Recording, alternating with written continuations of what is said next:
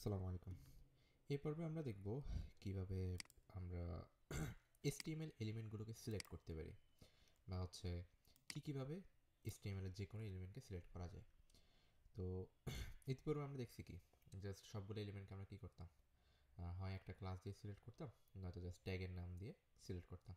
তো আমরা যাচ্ছি যে আর কী কীভাবে প্রতিটা এলিমেন্টকে সিলেক্ট করা যায়, এটা একটু দেখব।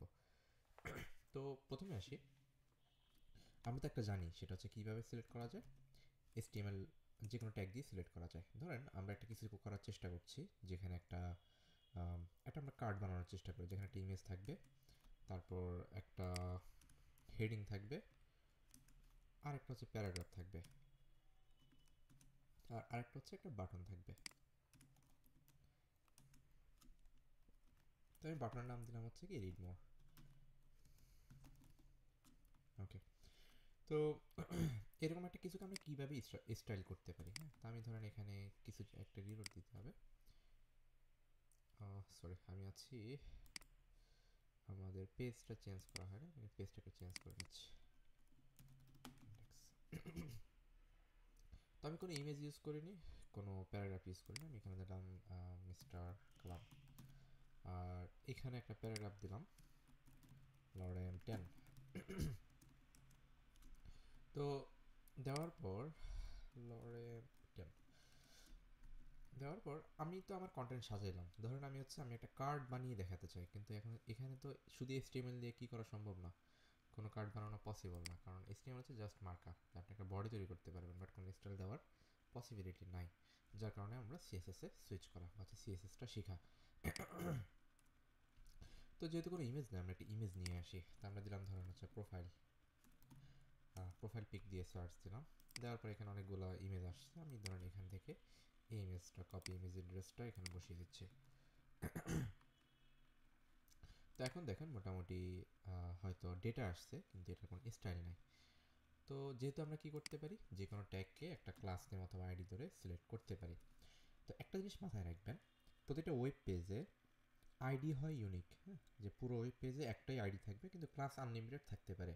তো আমরা ধরেন যেহেতু কার্ডটা হচ্ছে আপাতত ইউনিক আছে, আমাদের একটা জিনিস খেয়াল করবেন যে এখানে সবার প্যারেন্টকে হ্যাঁ ধরেন এই তিনটার প্যারেন্ট হচ্ছে আমার ডিভ হ্যাঁ আবার এগুলোর কোনো কি নাই চাইল্ড নাই হ্যাঁ তো যে কোনো প্যারেন্টকে আপনি চাইলে একটা আইডি দিতে পারেন। যে তাহলে হচ্ছে যেটা হয়, প্রতিটা আইডি যেহেতু ইউনিক ওই আইডি ধরে তার চাইল্ডগুলোকে আপনি চাইলে সিলেক্ট করতে পারেন। তো আইডিটা হচ্ছে সাধারণত সিলেক্ট করা হয় যে কোনো একটা ব্লককে আইডি দিয়ে যে কোনো একটা ব্লককে ধরেন একটা সিঙ্গেল ব্লককে কী করা হয়? একটা আইডি আইডি দিয়ে বাইন্ড করা হয়। তো এটা হচ্ছে একটা স্ট্যান্ডার্ড আপনি চাইলে হচ্ছে করতেও পারেন, নাও পারেন। তো আমরা একটা আইডি নিচ্ছি, দিলাম যে কার্ড ওকে আর ভিতরে যত ইমেজ আছে সবগুলোতে আমরা ধরুন একটা একটা করে ক্লাস দিয়ে আসি। ধরেন এটাতে ক্লাস দিলাম হচ্ছে পি ইমেজ তো এই নেমিংয়ের ক্ষেত্রে একটা যে ইস্যুটা একটু মাথায় রাখতে হবে, সেটা হচ্ছে একটা মিনিংফুল ক্লাস নেম অথবা মিনিংফুল আইডি ইউজ করা। তো আপনার এটা যদি মিনিংফুল না হয়, তাহলে আপনার জন্য কষ্ট হবে। আর আরেকটা হচ্ছে, আপনি যদি এখানে স্পেস দেন স্পেস মানে হচ্ছে আপনি দুইটা ক্লাস ডিক্লেয়ার করছেন হ্যাঁ? একটা পি একটা ইমেজ তো কম্বাইন রাখার জন্য যেটা করতে হবে, হয় হ্যাশ ড্যাশ ইউজ করতে হবে আর নয়তো আন্ডারস্কোর ইউজ করতে হবে। তো আন্ডারস্কোরটা আমি প্রিফার করি, এটা হচ্ছে একটু রিডেবল বেশি। আর এছাড়া আপনি আপনার মতো যে কোনো একটা ফরম্যাট আপনি ইউজ করেন ইচ্ছা। দেন হচ্ছে ক্লাস তো আমরা এই ক্লাসকে দিলাম, হচ্ছে ধরেন কার্ড নেম দিলাম। কার্ড আর এখানে হয়তো পি আপনি দিতে পারেন। প্লাস দিলেন হচ্ছে এখানে ডেসক্রিপশন ওকে তো ক্লাসের নাম যদি এরকম আপনি মনে করেন যে না ক্লাসের নাম তো অনেক বড় হয়ে যাচ্ছে, ওটা প্রবলেম নেই। কারণ হচ্ছে কি, আপনি যেভাবে এটাকে রিডিউবল করতে পারেন, সেটা আপনার জন্য বেস্ট তার মানে এই না যে আপনি এখানে তিন চার লাইনের একটা ক্লাস দিবেন। ছোটোই দিবেন বাট হচ্ছে যেন কি হয় মিনিংফুল হয়। আর এখানে ধরেন একটা বাটন দিলেন। তো বাটনের নাম দিলেন হচ্ছে ধরেন রিড বাটন ওকে তো বাটন আপনাকে ফুল লিখতে হবে না যতটুকুতে আপনি বুঝতে পারেন। বিটিএন দিয়ে বাটন বোঝা যাচ্ছে আপাতত ওকে আপনি সেটা ফুল বাটন নেমও লিখতে পারেন। তো আমরা এখন এটাকে দিয়ে সিলেক্ট করে কী করব? এটা রেস্টুরেন্টটা চেঞ্জ করব। তো আমাদের প্যারেন্টকে কার্ড তো সিএসএস করার একটা সিস্টেম বলে আসলে সিএসএসটা কীভাবে করবেন? তো এটা বোঝার স্বার্থে আমি এই সিএসএস ফাইলটাকে আমরা নিচে ওপেন করতেছি হ্যাঁ? এটা প্রসেসটা হচ্ছে ধরবেন ড্রাগ করে নিয়ে নিচের দিকে মাউস ট্র্যাকটা দেখবেন, এরকম একটু ব্লক হবে হ্যাঁ? ছেড়ে দিলে দেখবেন অর্ধেকে এসটিএমএল আর অর্ধেকে কী থাকবে?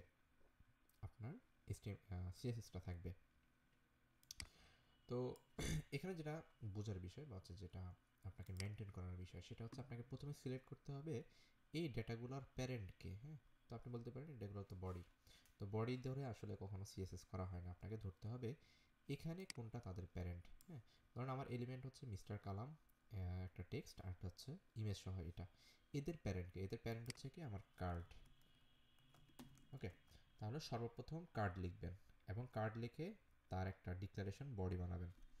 এরপর এটাকে ডুপ্লিকেট করবেন। ডুপ্লিকেটের সিস্টেম হচ্ছে shift alter arrow down okay then হচ্ছে তার ফার্স্ট এলিমেন্টকে তার ফার্স্ট এলিমেন্ট হচ্ছে আইএমজি ওকে অথবা এটাকে দুইভাবে দিতে পারেন। হয় ট্যাগ নেম দিতে পারেন আর নয়তো তার ক্লাস নেম দিতে পারেন। তো ক্লাস নেম দিলে কী হবে? আপনি এখানে ডট দিয়ে পি ইমেজ দেবেন। দেন হচ্ছে পরেগুলোকে কপি করে নিয়ে আসেন। আপনি চাইলে নিজে হাতে লিখতে পারেন বাট কপি করাটা সহজ। কারণ হচ্ছে সহজ প্লাস সুবিধা দুইটাই। আপনার লিখতে হচ্ছে না আর একটা হচ্ছে বানান ভুল হওয়ার সুযোগ কম হ্যাঁ? যদি আপনার একটু যে কোনো একটা ক্যারেক্টার ভুল হয়, তখন আর কাজ করবে না।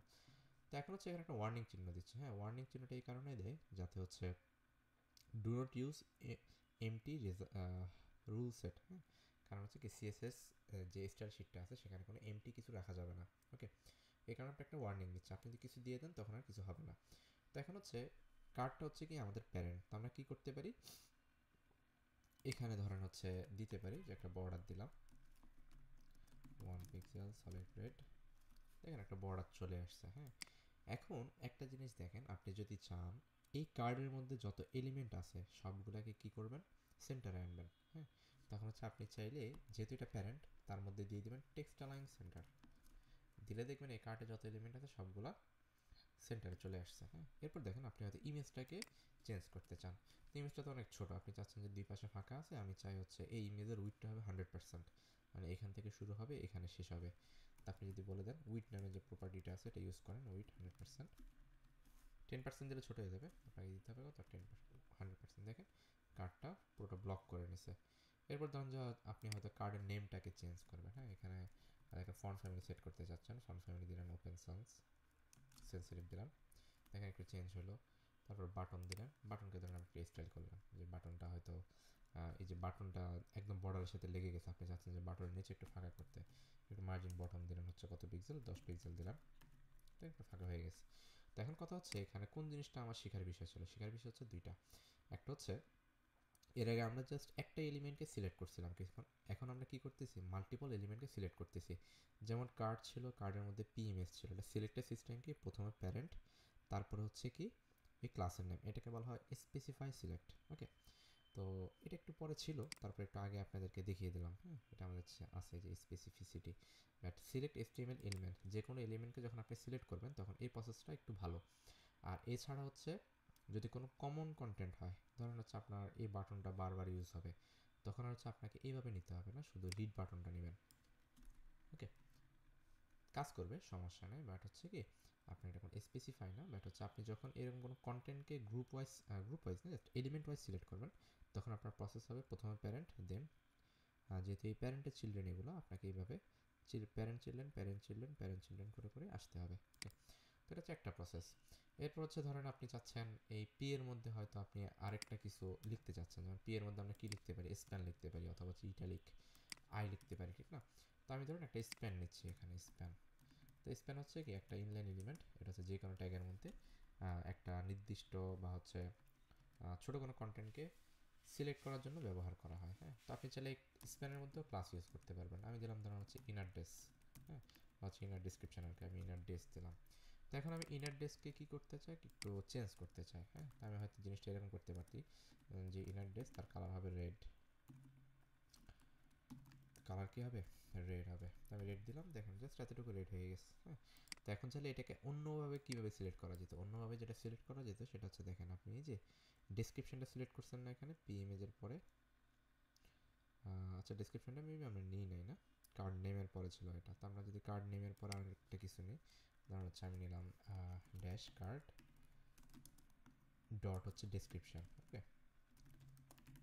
ডেসক্রিপশন এরপর কি আছে? এরপর আছে হচ্ছে আমার ইনার ডেস হ্যাঁ? এটা হচ্ছে কি আপনার সিলেক্ট করার সিস্টেম যে প্যারেন্ট তার চাইল্ড তার চাইল্ড এই সিকোয়েন্সটা হচ্ছে কী করতে হবে আপনাকে? ব্যালেন্স করতে হবে। তো এটা হচ্ছে একটা প্রসেস এই প্রসেসে আপনি কী করতে পারেন? এই সিলেক্টগুলো করতে পারেন। এখন দেখেন স্টাইলটা চলে গেছে বাট এখানে এখন যখন দিব, সাথে সাথে পেয়ে গেছে ওকে আচ্ছা। তো এটা হচ্ছে একটু এসটিএমএল থেকে যদি কোনো এলিমেন্ট সিলেক্ট করতে চান, তখন এটা আপনি করতে পারেন ওকে তো এরপরে দেখেন আরেকটা ছিল, সেটা হচ্ছে আমার সিলেক্ট আইডি অ্যান্ড ক্লাসেস হ্যাঁ? তো এটা নিয়ে আরেকটু বিস্তারিত আছে, কারণ এখানে একটু আপনার প্রায়োরিটির ব্যাপার আছে, এই কারণে আমি এটা পরে আলাদা একটা ক্লাসে রেখেছি। তো মোটামুটি এখানে আপনি বুঝে গেছেন যে কীভাবে কী করতে হবে। আপনাকে এসটিএমএল থেকে প্যারেন্ট ওয়াইজ বা হচ্ছে সিরিয়াল ওয়াইজ বা এটা কি বলা যায়? প্যারেন্ট থেকে চাইল্ড ওয়াইজ হচ্ছে এটাকে সরাসরি বলেন ট্রি আকারে কীভাবে আপনি সিলেক্ট করবেন হ্যাঁ? ধরেন এটা, তারপরে এটা, তারপর হচ্ছে কি? আস্তে আস্তে ইনারের দিকে যেতে থাকবে। তো একটু প্র্যাকটিস করেন। এটা অবশ্যই প্র্যাকটিসের বিষয় না বাট হচ্ছে একটু মাথায় রাখেন। কারণ নেক্সট ডে এইভাবে হচ্ছে আপনারা আপনারা সিএসএসগুলো করবেন অ্যাপ্লাই করবেন। তো সবাই ভালো থাকবেন। আসসালামু আলাইকুম।